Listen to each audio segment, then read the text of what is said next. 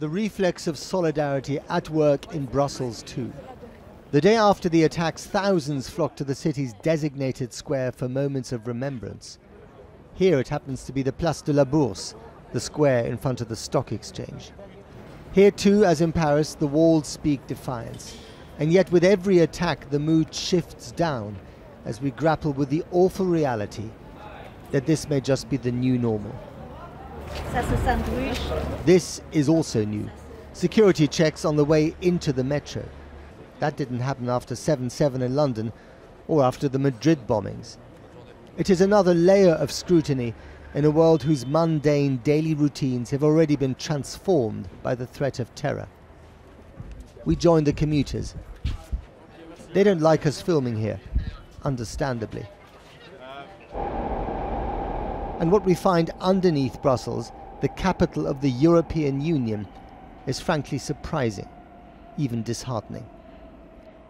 The 5 train, right through the centre of Brussels, their equivalent of the Piccadilly or Central lines. Today the mood is worse than in a dentist's waiting room. Nervous, empty, tense. People alone with their demons. Another ghost station that we drive through on this ghost train. Now this is mid-morning on a Wednesday in Brussels. I know that the politicians in this city have said that normal life has returned, that there's a great spirit of resilience. But I have to say, it's not an evidence on this train. We finally find someone who is willing to speak to us. It's like a desert here, Ahmed, a waiter told me. People are scared. Not surprisingly, no one here feels protected.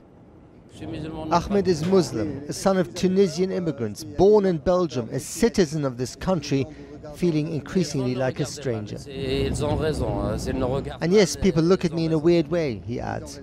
It makes me feel uncomfortable, but I totally understand them.